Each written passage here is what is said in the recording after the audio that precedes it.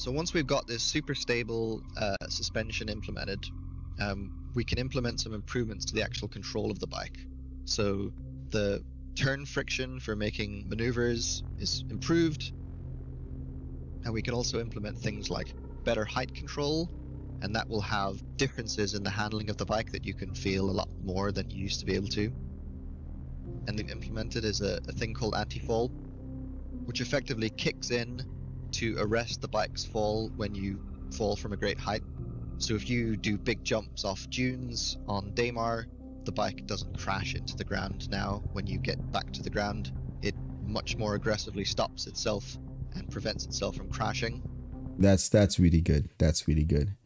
Um, that's that's that's one of the things that you have to consider. Um, currently, um, in 315, when you have a hover bike, right? You once you do a big jump, the biggest fear is just crashing.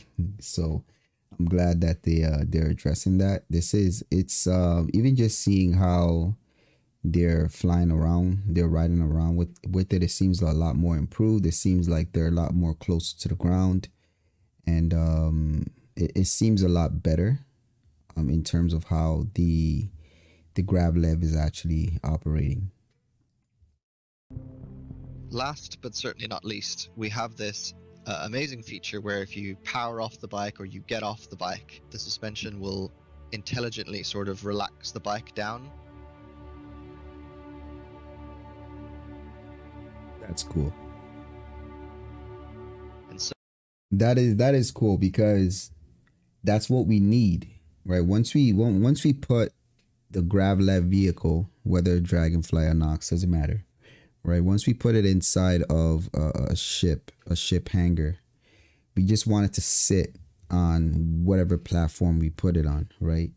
For example, your Carrack. Um, also, recently the 400i, where um, the, the the bike, where you put the bike, it's actually a small area. So if you could just put it right there, and as soon as you leave the vehicle, it will land right on top of it and stay put. That would be awesome um, I'm glad that they were they added this piece right here.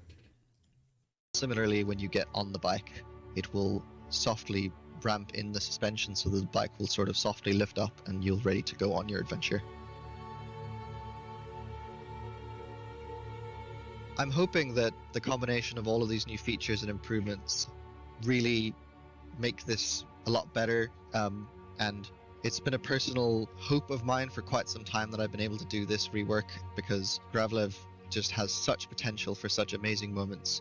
And I know when it's used, for example, in the Daymar Rally, it's just it's it's just such a cool sci-fi vehicle and it's been my it's been my wish for, for quite some time that we can make that that experience, you know, as good as it can get.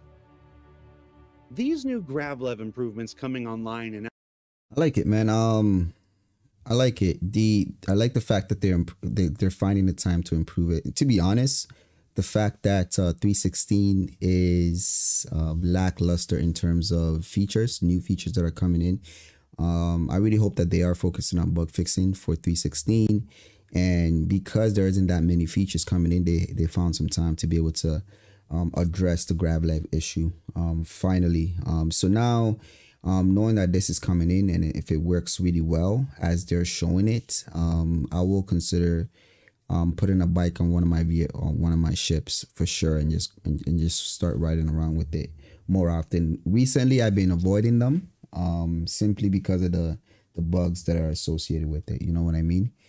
Um, so um, I'm really happy about how they're doing this, um, and I look forward to testing this out myself.